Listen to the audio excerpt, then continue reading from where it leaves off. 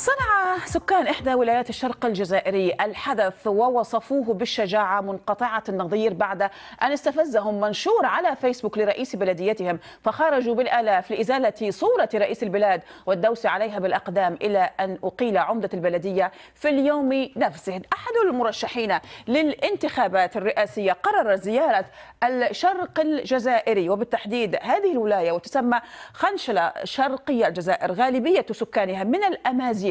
ويعرفون بالشاوية. إذا ذكرت الشاوية في الجزائر ذكرت الشهامة الأنفة والشجاعة في مواجهة من يتحداهم كما يعرف عنهم محليا. نشر أو نشر المرشح رشيد نكاز فيديوهات على المباشر على صفحته في فيسبوك. قال إنه سيتجه إلى عدد من المدن من بينها خنشلة تابعوا التصريح الذي أغضب رئيس البلدية. أنا جيت بلادي فهمتوني ولا لا؟ تبغوا ولا تكرهوا؟ وندير حملة تاعي ونروح بوسعاده الصباح كيما درتها في البرنامج. ومن بعد مسيلة ومن بعد باتنا ومن بعد أم الباقي ومن بعد خنشلة ومن بعد تبسة ومن بعد آه سك حراسه ومن بعد قلمة عنابه سكيكدا قسنطينه جيجل بجايه تيزي وزو بويرة الشي راني في بلادي.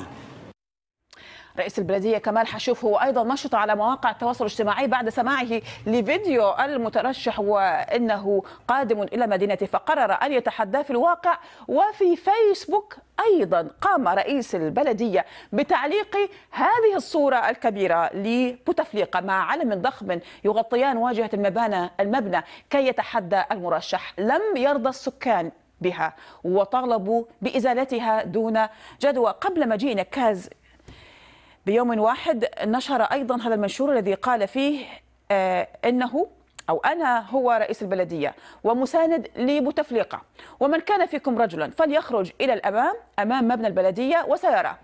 جاء المنشور مع صورة لشقيقي الرئيس السعيد وناصر. هذه الخرجة أو هذا الظهور لم تعجب طبعا سكان خنشلة وبعد الانتشار الواسع للتعليق لتعليقه على فيسبوك وتحديه زيارة نكاز لجمع التوقيعات هذا ما حدث. خرجوا بالمئات وهناك من قال بالآلاف وهتفوا باسم رشيد نكاز رئيسا للجزائر وأنزلوا صورة الرئيس من على المبنى وسط هتافات غاضبة. هذه الصور جابت المواقع وانهالت التعليقات عبر كل المنصات. أما الأخطر والذي عد من طرف كثير من المراقبين سقوطا ولو رمزي للنظام هو هذه الصورة. صورة عبد العزيز بن رفيق الرئيس الجزائري التي أنزلت من على بناية البلدية تم الدوس عليها بالأحذية كما يظهر وسط هتافات الناهضة له والعهدة الخامسة ثم حاول المتظاهرون إحراق هذه الصورة. مرت الليلة بهدوء دون وقوع أي أعمال شغب لكن رئيس البلدية بعد المظاهرة مباشرة تمت إقالته في اليوم نفسه من منصبه. وفي اليوم الموالي أرسل بمنشور على فيسبوك وقال إنه ليس صاحب المنشور المستفز وإن صفحته تعرضت للقرصنة.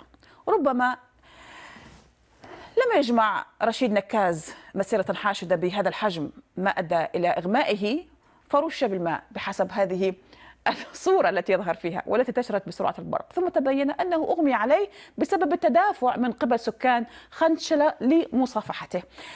لمن لم يتعرف على رشيد نكاز عن قرب فهو رجل الأعمال الفرنسي من أصل جزائري الذي يدفع بالغرامات المفروضة عمن أو على من يرتدين الجلباب في فرنسا وبلدان أوروبية أخرى. طبعا على مواقع التواصل على فيسبوك أمين خليل يقول شكون اللي انتخب هذا الشخص؟ كيفاش حتى صار حاكم البلدية؟ ألستم أنتم اللي نصبتموه أم إنه نصب نفسه بنفسه؟ المرة القادمة لازم تعرفوا من الأشخاص أو من من الأشخاص تزكون يا الغافل الدنيا هذه تجارب.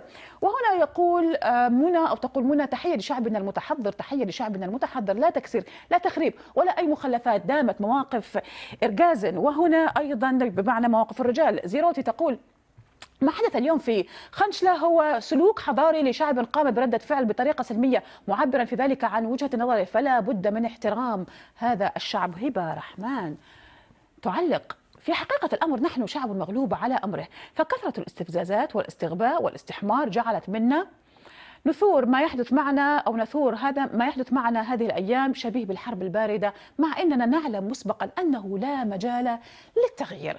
لم يصدر أي موقف رسمي بشأن ما وقع في خنشلة لكن هذا ما جاء على لسان وزير الداخلية الجزائري بشكل غير مباشر كما تقول بعض المصادر. يقول إننا أقوى من كل هذه المحاولات التي نملك ما نتصدى به لها وإننا قادرون على حماية البلاد. نحن من عشنا سنوات الدم والتخريب وعانينا لعشرية كاملة واليوم نحن ننعم بالأمن وبالفرص الكثيرة التي ساعدتنا على الوقوف من جديد. لحد الآن لم تسمح السلطات الجزائرية بالتظاهر وتقول أن هذا أو تسمح بالأحرى بالتظاهر وتقول إنه هذا الحق مكفول لجميع الجزائريين عكس ما يقول المعارضون. ولم تتدخل الشرطة في خنشلة على الرغم من إنزال صورة الرئيس وسحقها كما ظهر في الفيديو.